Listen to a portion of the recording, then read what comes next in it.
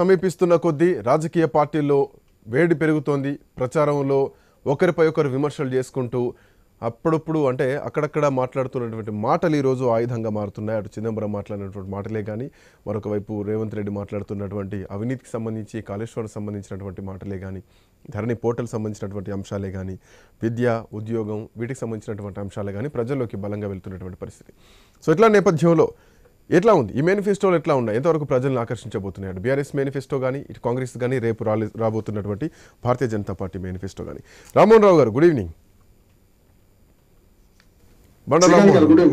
Yeah very good evening. So మొత్తానికి Telangana Congress committee assembly ఎన్నికలు రెండు వేల ఇరవై మూడు ఒక మేనిఫెస్టో రిలీజ్ చేయడం జరిగింది. దరిదాపు అరవై ఆరు అరవై ఆరు అంశాలతోటి మేనిఫెస్టో రిలీజ్ చేయడం జరిగింది.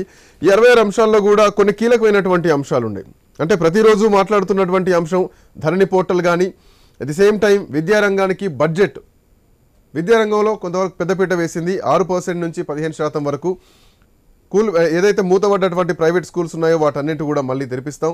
బాసర ట్రిపుల్ ఐటీ స్థాయిలో మరొక నాలుగు నాలుగు ఐటీ ట్రిపుల్ ఐటీలను కూడా ఏర్పాటు చేయబోతున్నాం. ఇవన్నీ కూడా మాట్లాడుతున్నారు. తో పాటు ఇరవై నాలుగు గంటల కరెంటు కూడా ఇస్తామంటూ ఈ మేనిఫెస్టోలో చెప్పడం జరిగింది. ఆరు గ్యారంటీలు అరవై నాలుగు అంశాలతోటి మేనిఫెస్టో రైతు డిక్లరేషను నిరుద్యోగ డిక్లరేషను ఇవన్నీ ఈ మూడు అంశాలని ఎట్లా చూడాలి? బండ రామ్మోహన్ రావు గారు. శ్రీకాంత్ గారు మీకు మన ఇద్దరు మిత్రులు రవి ఉన్నారు ఇద్దరు అస్తమించిన రవి ఇద్దరు కూడా వాళ్ళందరికీ నమస్కారం. ఇక్కడ రెండు విషయాలు చూడాలి. ఏంటంటే కాంగ్రెస్ మేనిఫెస్టో మూడు పువ్వులు ఆరు కాయల్లాగా మొదట్లో ఆరు గ్యారంటీలు పద్నాలుగు పథకాలు ఉంది దాన్ని కొంచెం విస్తృతి చేస్తే అంటే ఏమన్నా క్యాన్వాస్ పెద్ద తీసుకుని బొమ్మలు వేశాను మ్మ్. ఇందులో నా నాకు ఒక రకంగా పాజిటివ్ ఏమనిపిస్తుంది అంటే ఇటు టిఆర్ఎస్ మేనిఫెస్టో కానీ కాంగ్రెస్ చూసుకుంటే రేపు రాబోయే మేనిఫెస్టో కూడా మనం బీజేపీతో వస్తుంది కనుక దాని గురించి ఇప్పుడే మాట్లాడడం వద్దు. ఈ రెండింటి గురించి నేను మాట్లాడతాను ఓకే. అంటే ఒక రకంగా చెప్పాలంటే ఎవరిని ఎవరు కాపీ కొట్టారని మొదటి వివాదం మొదలైంది. నేనైతే టిఆర్ఎస్ దే కాంగ్రెస్ కాపీ కొట్టిందా నేను. ఒకటి రెండు నిమిషాలు మీరు అంటే రైతు బంధు వద్దు భూస్వాములకి ఇస్తున్నారన్న కాంగ్రెస్ పది నుంచి పదిహేను వేల పాట పెట్టింది. కదా?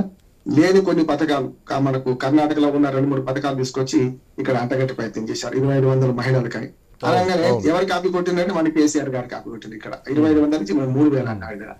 పెన్షన్లు మొదటి నుంచి వేలం పాట పెన్షన్ నడుస్తున్నాయి వెయ్యి నుంచి రెండు వేలు రెండు వేల పదహారు రెండు వేల పదహారు మూడు వేల పదహారు ఇవి జరుగుతున్నాయి కానీ అన్నిటికన్నా నాకు సంతృప్తి ఏంటంటే రెండు మేనిఫెస్టోలో ఒక రెండు మూడు తప్ప మిగతావన్నీ కూడా మంచి చెడ్డ ప్రజలకు పనికొచ్చేది ఎందుకంటే భరోసా ఇవ్వకుండా సమాజంలో సమాజంలో అణగారిన వర్గాలకు పేదలకు భరోసా ఇవ్వకుండా ఏ ప్రభుత్వం నడవడానికి వీల్లేదు. మ్మ్.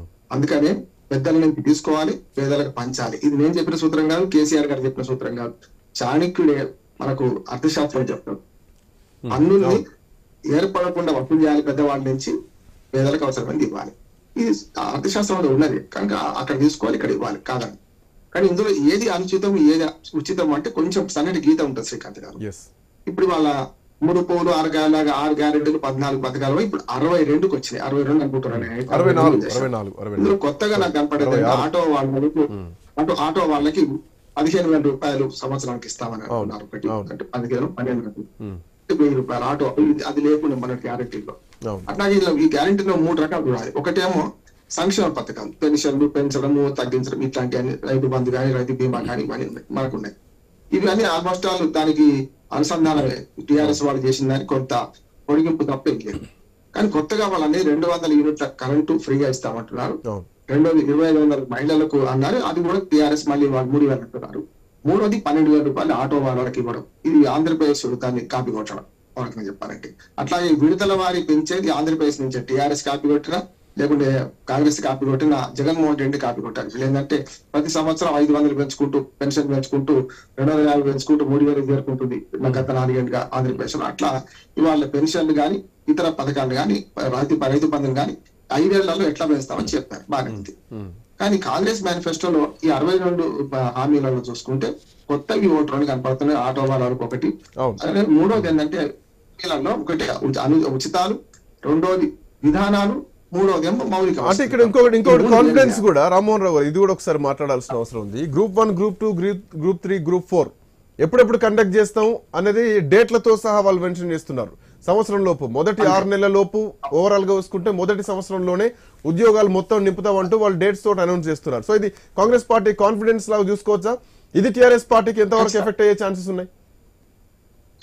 పదేళ్ళలో పెద్ద అసంతృప్తి టీఆర్ఎస్ మీద ఉంటే నలభై ఐదు పైబాట్లందరూ టీఆర్ఎస్కి అనుకూలంగా ఉన్నారు. నేనైతే రాష్ట్రవాన్ని తిరుగుతున్నాను. ఎన్నికల నిఘా వేదిక తరఫున? చూస్తుంటే నలభై లోపు ఇంకా ముఖ్యంగా ముప్పై లోపు వాళ్ళు యువత నిరుద్యోగ యువత బాగా వ్యతిరేకంగా ఉన్నారు. టీఆర్ఎస్ పార్టీ వాళ్ళకు యంత్రాంగం అనేది కనుక్కుంటున్నారు సమస్య కాదు. కానీ ఇక్కడ ఏమైందంటే మీరు అన్నట్టు ఉద్యోగ కల్పనలో బాగా అలక్ష్యమైంది. నీళ్ళు నిధుల నియామకాల్లో నీళ్ళు నిధులు ఎట్లా వచ్చినా నియామకాల్లో వెనకబడి ఉందని కేసీఆర్ గారు స్వయంగా చాలా సార్లు ఒప్పుకున్నాడు. అది కూడా దానికి కొన్ని పరిమితులు ఉంటాయి పరిమితులు ఉంటాయి అంటుంది. ఎందుకంటే ప్రభుత్వ ఉద్యోగాలు ఏ ప్రభుత్వం వచ్చినా మూడు శాతం కంటే ఎక్కువ ఇవ్వలేదు. మొత్తం దేశం మొత్తమే మూడు కోట్ల మంది ఉద్యోగులు ఉన్నారు. అందరికి ప్రభుత్వ ఉద్యోగాలు ఇవ్వడం సాధ్యమా కాదు? అది వేరు. కనుక కాంగ్రెస్ మేనిఫెస్టోలో మనం కొంచెం పోస్ట్ మార్టం చేస్తే మూడు అంశాలు దోస్తున్నాయి. నాకు ఒకటేమో సంక్షేమ పథకాల కొనసాగింపు పెంపు లేకపోతే కొత్త పథకాల ప్రకటన. రెండోది మౌలిక వసతుల పెంపులో మీరు రెండు విద్యా ఆరోగ్యాల గురించి మేనిఫెస్టో ప్రకటించారు. ఏమనంటే నాలుగు ఆసుపత్రులు పెడతామని చుట్టూ. అట్లాగే విద్యలో మీరు అన్న ఐఐటి మూడు ఐఐటి పెట్టడం. ఇట్లాంటివి ఉన్నాయి. ఇవి ఖచ్చితంగా అవసరం అన్నమాట విద్యా ఆరోగ్య విషయంలో కాంగ్రెస్ పార్టీ చెప్పినా ఎవరు చెప్పినా దీన్ని ఆచరించాల్సిందే చేయాల్సిందే. విద్యా ఆరోగ్యానికి ఎంత బడ్జెట్ కేటాయించినా తప్పుగా. ఇక మూడోది విధానాల పరమైంది. అంటే ధరని తీసుకొని బంగాళాఖాతంలో వాడేస్తా అన్నారు కదా. ఇప్పుడు ఏమంటున్నారంటే గతంలో వాళ్ళు కూడా గుర్తు చేయాలి కాంగ్రెస్ పార్టీ వాళ్ళకి. భూభారతి అని ఒక పథకం ఉండింది దాని పుస్తకాలు కూడా రాసి ఉండే శాంతి కుమార్ గారు దానికి ఇప్పుడు ఇవాళ సిఎస్ దానికి స్పెషల్ ఆఫీసర్గా ఉండే. భూభారతి నిజామాబాద్ జిల్లాలో కాంగ్రెస్ హయాంలో మొదలైంది. అంటే భూమి సమగ్ర సర్వే చేస్తే తప్ప ఈ సమస్యలకు పరిష్కారం లభించదు అని ఆనాడు అనుకున్నారు. దాన్ని గంగలు కలిపిండ్రు. అది ఒక నిజామాబాద్ జిల్లాకు పరిమితం చేసిండ్రు. హెలికాప్టర్ సర్వే విమానాల సర్వే చేసిండ్రు. సగం ఆగిపోయింది. ప్రజలకు అవగాహన కల్పించడానికి మేము పుస్తకాలు రాసిన వాళ్ళు నేను ఒక జ్ఞాపకం అవును. కానీ ఇక్కడ ఏమైందంటే భూమాత లేకుంటే భూభారతి ఏదో పేర్లు పెడతారని కొత్తగా చేస్తున్నారట. కానీ దీనిలో ధరణి గురించి ఇద్దరు మిత్రుల వాదన విన్నాను. ధరణిని మౌలికంగా ఏ సంస్కరణ చేస్తే బాగుంటుంది ఎవరు చెప్తలేదు. ఏ పార్టీ చెప్తలేదు. వీళ్ళకి కావాల్సింది ఏంటంటే చాలా సార్లు సునీల్ భూమి అని వారి భూమి ఆర్గనైజేషన్ సునీల్ మేమందరం నలసాల్లో కూర్చున్నప్పుడు కానీ మొన్నటికి మొన్న ఒక చర్చలో కూర్చున్నప్పుడు కానీ రౌండ్ టేబుల్లో కూర్చున్నప్పుడు మేము రెండు సలహాలు ఇచ్చినాం. ఒకటి ధరణి తీసేయడం ఉంచడం సమస్య కాదు. ధరణిలో ఎక్కిన ఈ డేటా ఎక్కడిది? ఎన్నడో పటేల్ పట్టువారీలను తీసేసిన తర్వాత ఎనభై మూడు నుంచి చౌపాసనాలు పోయినాయి పాయనలు పోయినాయి. అందరూ రెవెన్యూ వ్యవస్థలు ఈ వేలు పెట్టని వాడు ఏ పార్టీ అని వేలు పెడుతుంది. దాన్ని ఇప్పటికీ తప్పుల తడకగా ఉంటున్నాయి. ఇంతకుముందు రవికుమార్ గారు చెప్పారు చాలా కరెక్ట్ అది. నిజంగానే నిషేధిత భూముల చట్టాల్లో పడితే నేను ఒక ఐదు ఆర్టికల్స్ రాసిన శ్రీకాంత్ గారు. ధరణితో చిక్కులు తక్కువ హక్కులు అని ఒక్కొక్క సమస్య మీద ఒక్కొక్క ఆర్టికల్ రాసిన. ఇది ఎంత పెద్దదంటే మనకు నిషేధిత భూముల జాబితాలో పడితే కలెక్టర్ పట్టించుకోడు సీసీఏలకు పోవాలి. ఒక్క గుంట ప్రభుత్వం సేకరించినా ఎందుకు మరి కేసీఆర్ గారికి ఎందుకు దృష్టికొస్తలేదు కానీ ఒక్క గుంట ఆ సర్వే నెంబర్ వంద ఎకరాలు ఉందనుకోండి సేకరిస్తే తొంభై తొమ్మిది ఎకరాల నా ముప్పై తొమ్మిది గుంటలు నిషేధిత జాబితాలో పడేసిండ్రు. ఎట్లా సాధ్యం? అందుకని దీనికి ఏంటంటే శాశ్వత పరిష్కారం ధరని తీసేయడం ధరని ఉంచడం కాదు. ఇక్కడ?